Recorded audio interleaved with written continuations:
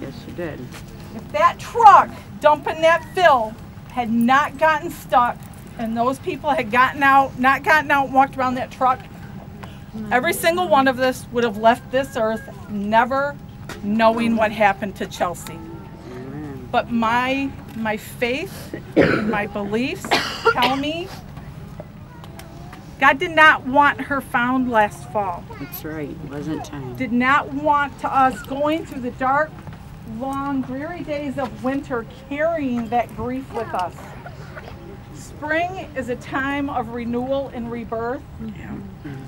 And again, we will be here for a while because I know everybody has not gotten a hug that's wanted one, and they're I, I'm I haven't run out of them yet.